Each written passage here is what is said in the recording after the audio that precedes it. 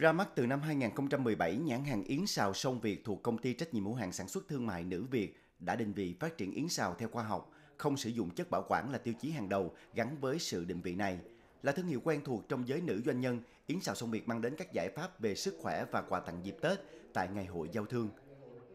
Nhất là giới thiệu một loạt các cái mặt hàng về quà Tết để hướng tới đến cả à, doanh nghiệp, giới thiệu với dân doanh nghiệp Ờ, để có dùng làm quà tặng dành cho các cái đối tác của mình. Cái thứ hai nữa đó là đưa một cái dòng sản phẩm yến tươi ờ, và yến được trưng tươi, nguyên chất 100% để hướng dẫn mọi người tiêu dùng đến cái việc là ăn đều và ăn đủ. Đó là một trong những cái chế độ dinh dưỡng phù hợp cho người Việt Nam mình với giá tiền phù hợp.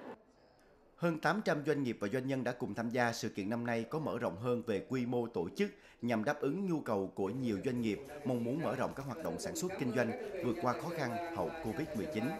À, với mỗi gian hàng chúng tôi đều có xây dựng một cái QR code riêng cho từng gian hàng và trong cái QR code đó chúng tôi dẫn đường link à, giới thiệu về website cũng như là sản phẩm của các cái à, à, gian hàng à, ra nước ngoài. Thì Meva của chúng tôi à, quan điểm là chăm sóc vật nuôi giống như chăm sóc sức khỏe con người. À, hôm nay chúng tôi đến đây à, tham gia cái ngày hội kết nối giao thương của à, à,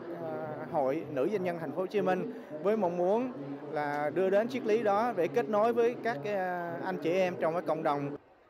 Ngày hội kết nối giao thương không chỉ dừng lại ở việc mua bán tại chỗ mà còn hướng đến việc tăng cường giao lưu, trao đổi, tiếp cận thông tin một cách rộng rãi và đi vào chiều sâu, tạo tiền đề cho những hoạt động xúc tiến thương mại dài lâu.